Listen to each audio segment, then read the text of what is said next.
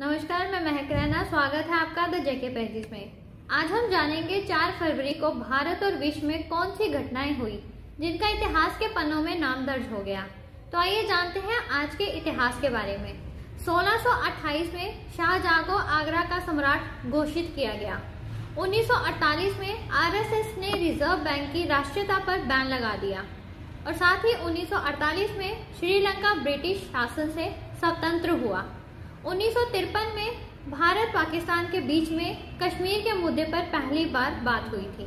1990 में इर्नाकुलम को भारत का सबसे पहला शिक्षित राज्य घोषित किया गया। 2004 में दुनिया को बदलने वाली सोशल नेटवर्किंग साइट फेसबुक को मार्क जुजरबर्ग ने 4 फरवरी को लॉन्च किया था।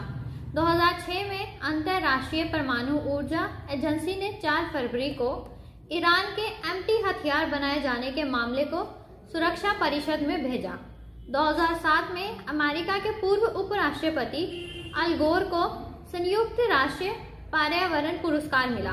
2009 में 4 फरवरी को ही बाबा रामदेव को उनकी सेवाओं के लिए इंडियन अकादमी ऑफ़ एक्यूप्रेशर विज्ञान के द्वारा लाइफ टाइम अचीवमेंट पुरस्कार से सम्मानित किया गया। 2014 को सत्या नेडेला को दुनिया की सबसे बड़ी सॉफ्टवेयर कंपनी माइक्रोसॉफ्ट के नए सीईओ नियुक्त किया गया। इसी के साथ जानेंगे किन मशहूर व्यक्तियों ने लिया था आज ही के दिन जन्म और किनका हुआ था निधन। 1922 में मशहूर शास्त्रीय गायक पंडित भीमसेन जोशी का जन्म हुआ था। उन्नीस सौ चौरासी में भारत के प्रसिद्ध गायक संदीप आचार्य का जन्म आज ही के दिन हुआ। 1934 में भारत के देशभक्त मधुसूदन दास का निधन हुआ था। 2001 में क्रिकेटर पंकज राय का निधन भी आज ही के दिन हुआ था।